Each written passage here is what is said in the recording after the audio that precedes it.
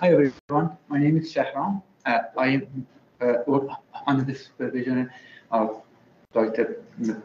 Vikas Prakash. So I spent the whole first year for uh, getting familiar with the equipment, how to use the uh, the art instrumentation, and uh, I did some experiments that I'm gonna talk about that. But firstly, I'm gonna talk about the technique that I use for, uh, I'm going to talk about a technique that I use for the all of my experiment, uh, which is called the pressure shear plate impact experiment. Uh, it is a technique which is used for studying the dynamic response of material under extreme conditions like high strain rate and high uh, shear. Uh, there is some technique which is called the Split Hopkinson, which is there are some restriction for that. You cannot reach the high strain rate, but for pressure shear, you can go to the you can get the extremely high strain rate uh, of the order of 10 to the 5 or 10 to the 6, and because of that, so we can uh, use the, this technique to use to investigate the material input, the material deformation phase, transition and failure mechanism at high strain rate. And the, because of the, it's, it's called the, the combined effect of pressure and shear of this technique, we can use this technique for characterization of material in a different application like material science and engineering, shock physics and astrophysics, high-speed manufacturing, and the aerospace industry and defense.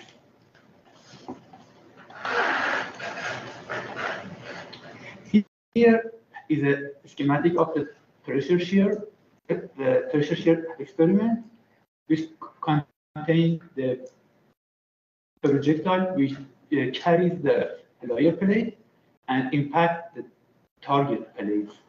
Uh, so the specimen, which is which is sandwiched in between two high impedance material, we have the holographic diffraction grating, which is deposited in the back of the surface of the target, and we can use that one for uh, producing the shear, the shear and the uh, perpendicular velocity direction. And the last one, we have the uh, the system, which consists of two TDI probe and one NDI. And with that technique, we can use the PDV or photon Doppler velocimetry to measure the particle velocity in the real surface of the target at the time of impact.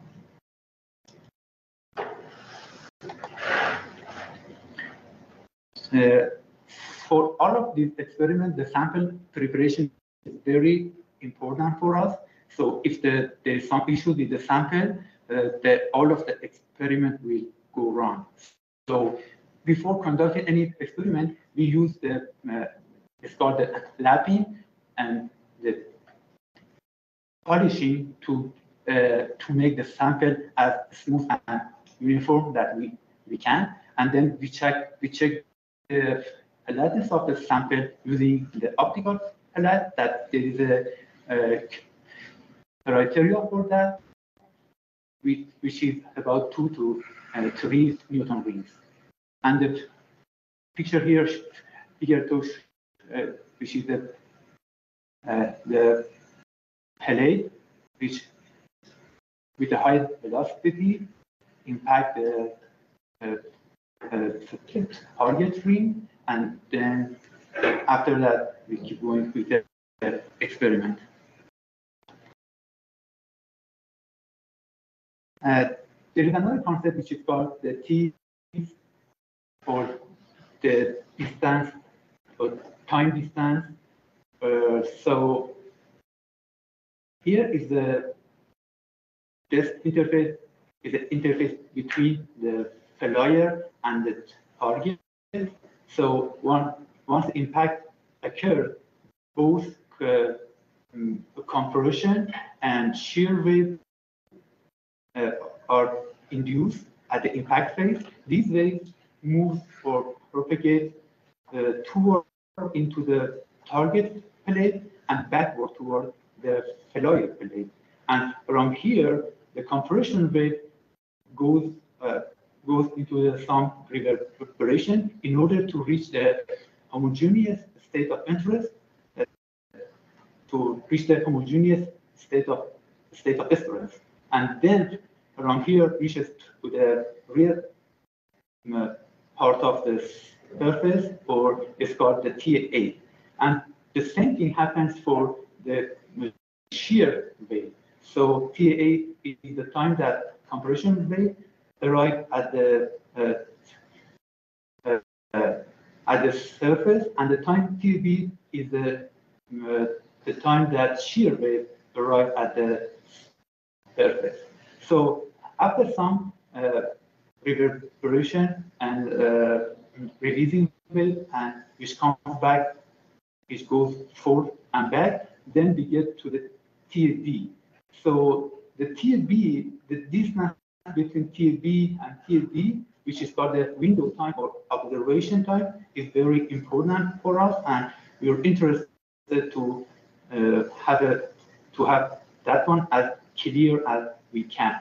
So we're not uh, we're not looking for some uh, release wave which comes back from the part here and go interface to this part. So because of that, we have to, for uh, the once we want to pick the, the, the thickness of a layer and the target, we have to take that one into consideration. So the thickness of the this plate has to be thick enough that we don't get the release wave which interfere in these these two times. Then we have some equation to calculate the T of A and T of B, which the CAL is the, the compression sound speed and the CS is the shear sound speed.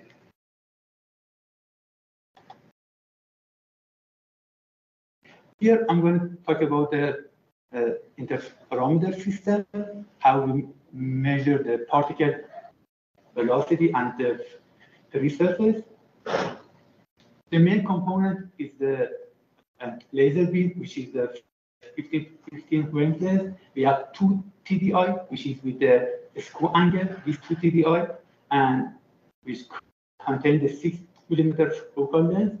We have an NDI, which contain the the collimating length, and we have some fiber, which con which connected to the ETDI and NDI, and we have the PDV machine on photon Doppler velocimetry to measure the particle velocity at the uh, back of the surface.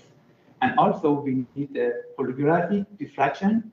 Uh, so this holographic diffraction uh, enable us to get the particle to get the different uh, angle for the velocity.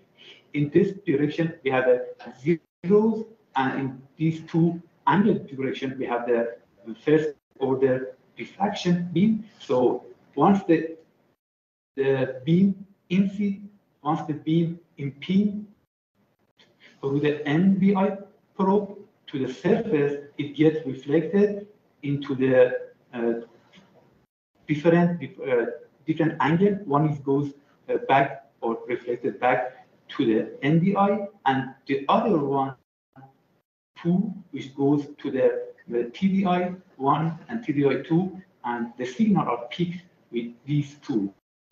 So the interference of these, uh, the first order beams, which is done by the the heterodyne interferometer, give us the shear component of the velocity, and the interference of the incident beam and the reflected beam with the NDI give us the uh, perpendicular component of the velocity.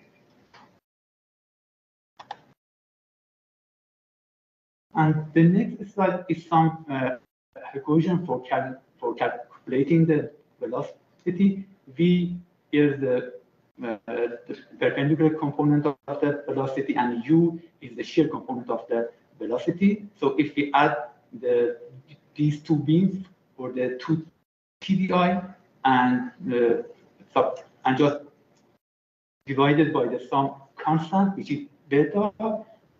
The beta is the angle between the reflection.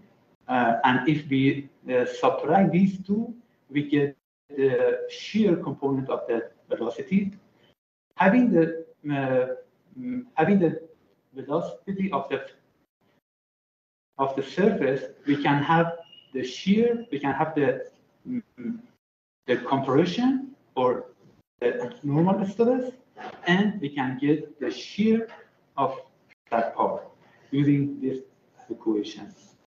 From here, we have a rho, which is the density, and then VFS, VFS, which is the normal particle velocity, UFS, which is the free-surface particle velocity in the shear direction. And if we want to get the shear strength, having the particle, having the velocity of the projectile in the in the shear direction and having the uh, component of the shear velocity, we can and the thickness of the sample, we can get the shear strength.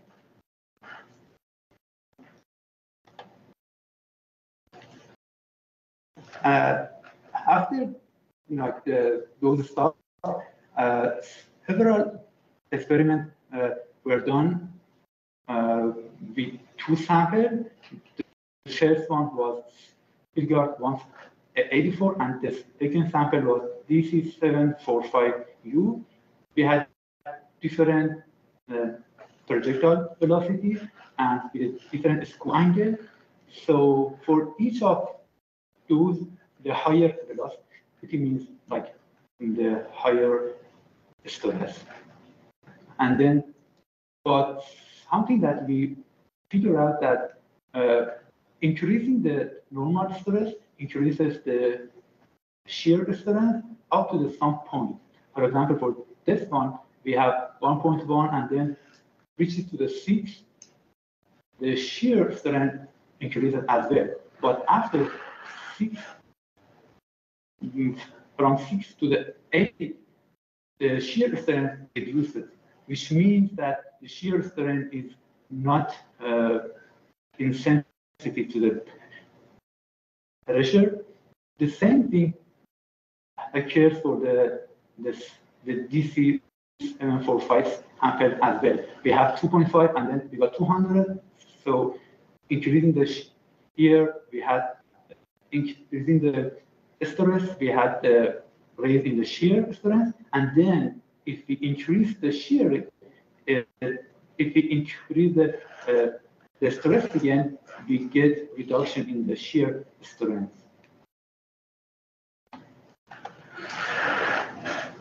Here is the uh, profile of particle velocity with the time, the particle velocity at the impact time with a different angle, and for the DC 745U, and the right one is the normal stress, which shows is almost 6 GPa, and the shear one, which is almost uh, 450 the maximum. And then we got the shear strain rate, which was about 6.2 for the DC 745.